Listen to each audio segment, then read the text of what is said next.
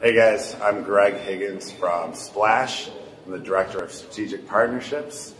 And uh, Splash makes websites, custom websites for events.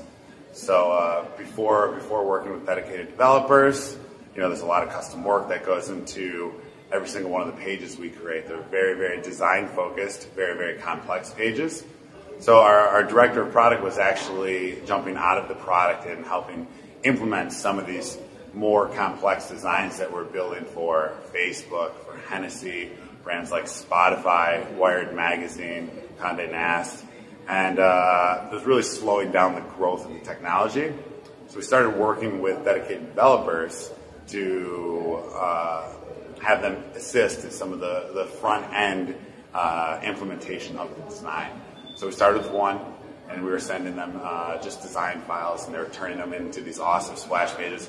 We reiterated on the process a couple of times, you know, just to lay out exactly what we needed. They responded accordingly. They were great. Now we've scaled that up to three dedicated developers, and uh, we're feeding them work daily.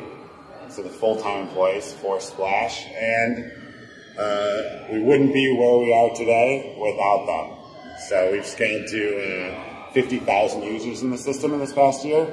And uh, yeah, we love our dedicated developers. They're great.